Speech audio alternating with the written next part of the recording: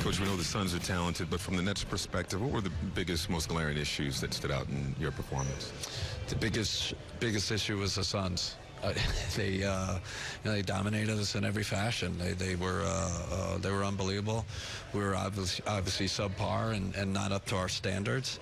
And when you have that kind of disparity, you can you can lose by 30 on the road. So uh, you know these games happen in the NBA. I, I, I don't.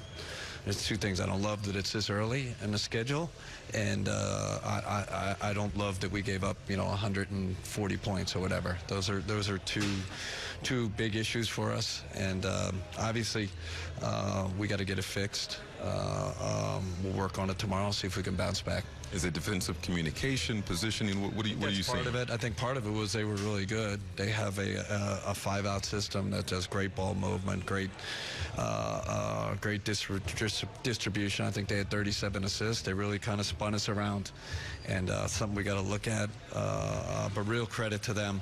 Uh, like I said, if we're subpar.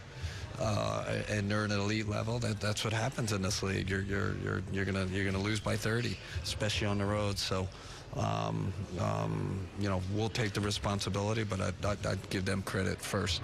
You guys go down big early, and then the bench really kind of gets you guys back into the, the mixtures. What would they start doing well that, that really got that run for you guys? Defending better. The energy was better. The engagement was better. The you know, understanding what the, the game plan was was better. Every everything was better. So that was our only real stretch.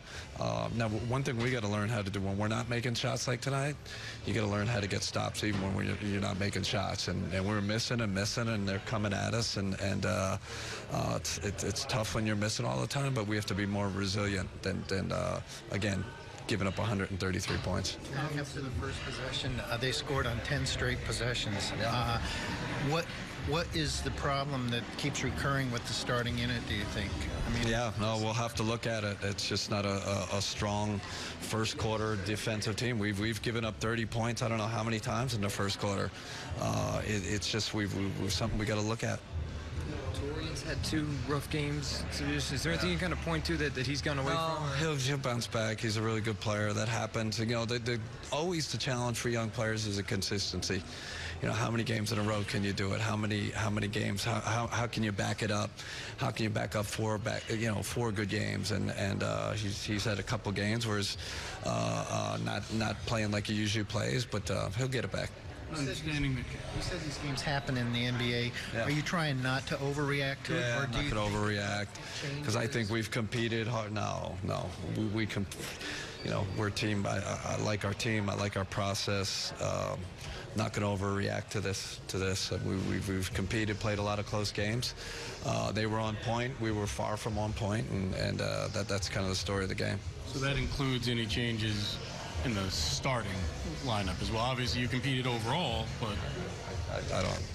I'm not not ready to go there after after one, uh, uh, you know, uh, one bad game. Circling back, were you seeing the, the issue with the starters, you know, after missed shots, not being locked in defensively to get those? Was it specifically with that with that starting unit? Did you notice anything else there with the starting five? Yeah, I mean, like I said, we miss shots, and, and then we're not resilient enough to get stops. Even when when when uh, uh, you know when we miss shots, that starts with starts with our transition defense wasn't good. But you know, you see the stat. I don't know how many offensive. We, our energy was not there.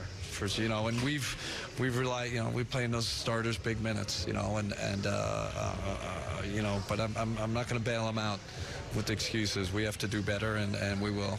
You said a few games ago when you guys were down big that you used so much energy to tie it up and rally back that that's why you kind of struggled to hold the lead from those. That you get down two and then they have that big run. Is is that similar? Where just you use so much energy coming back that you might not have. I, I, I mean, that's a quite, you know, that group that got us back, you know, we kept them and, and they still, you know, they, they stretched the lead again. So, um, you know, uh, I, don't, I don't think that was the case. And that, that overall, we did not have the juice that we needed. The, the, the energy wasn't there, but the energy, uh, when the energy is not there, you also have to execute your game plan. You got to rely on that. And we, we, we just, so we weren't there physically, mentally, uh, and, and those, those, so it's a bad combination.